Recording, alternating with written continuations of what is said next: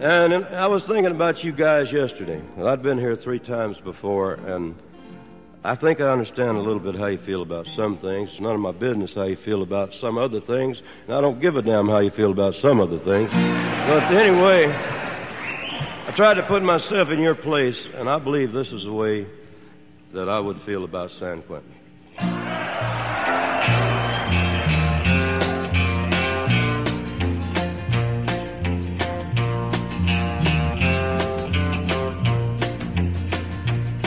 San Quentin, you've been living hell to me. You called it me since 1963.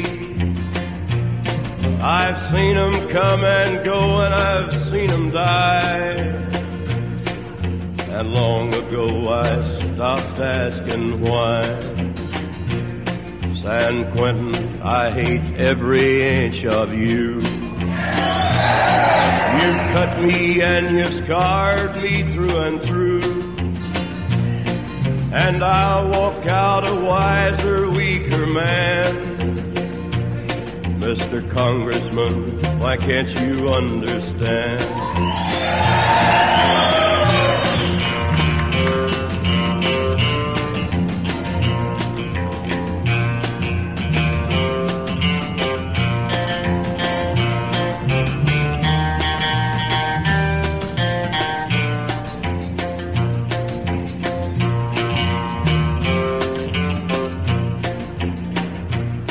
San Quentin, what good do you think you do?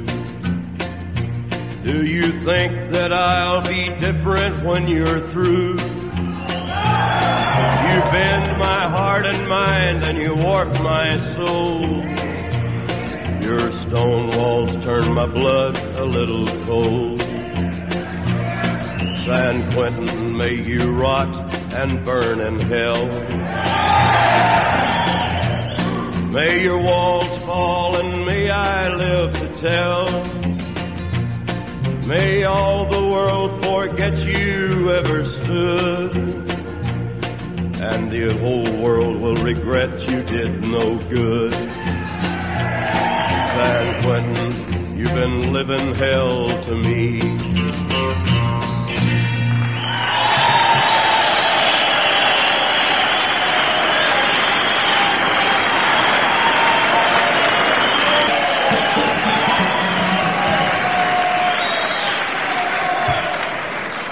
Thank you. All right, we'll do it again after a while. Before we go tonight, we'll probably do it again. I got, I, I kind of like it myself now.